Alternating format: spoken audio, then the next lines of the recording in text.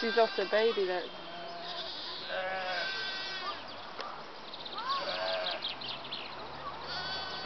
Maybe it's those two. So funny the way their tails go when they're drinking milk.